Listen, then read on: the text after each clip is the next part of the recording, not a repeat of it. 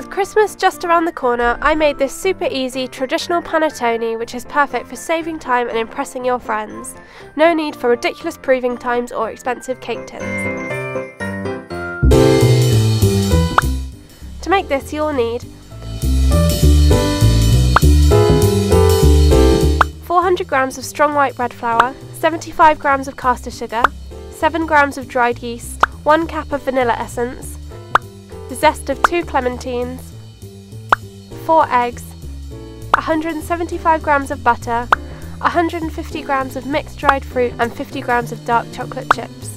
To make this recipe even easier, in replacement of a panettone tin, I used a 2 pound stainless steel cutlery holder. Firstly, you need to make a sponge starter for your panettone. Mix 125 grams of the flour, the yeast and the sugar in a mixing bowl. Make a well in the centre and add 3 tablespoons of warm water and 2 eggs.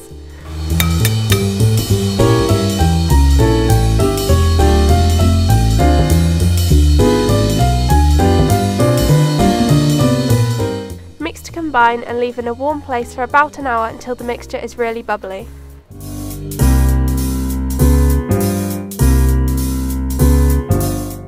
Add the yolks of the remaining two eggs, one cup of vanilla essence and the zest of two grated clementines.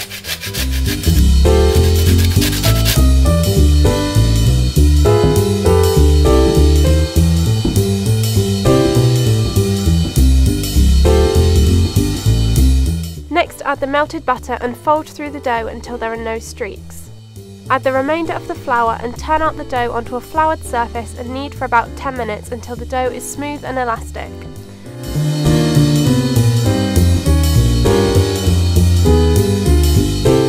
Cover with cling film and leave to prove again for about 2 hours.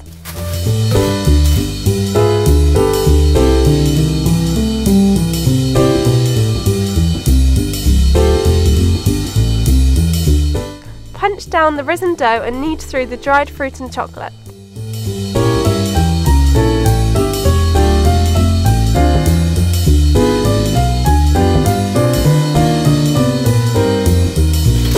Place in the makeshift panettone tin and leave to prove again for another hour.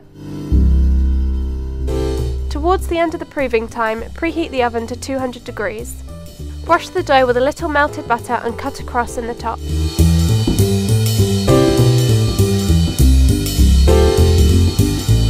Bake for around 50 minutes or until it's golden brown and cooked through.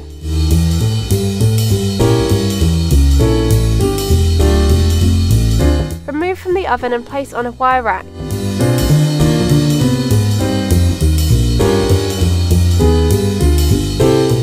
This panettone is perfect served warm with a cup of tea or even toasted for an easy Christmas Day breakfast.